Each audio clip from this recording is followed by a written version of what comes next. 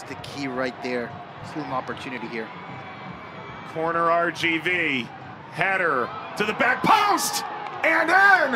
And RGV equalized for a second time tonight. Galindrez comes right into the game and makes the ultimate impact.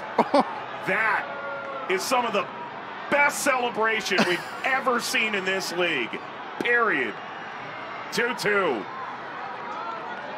Around RGV. Another corner kick. And again, it's Cabezas winning initially.